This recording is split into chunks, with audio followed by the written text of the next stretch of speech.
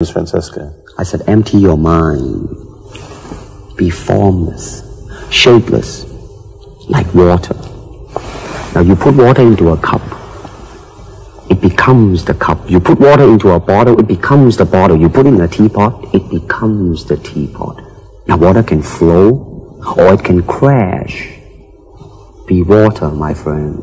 Like that, you I see. I get the idea. Uh-huh. I, get the, the power behind it.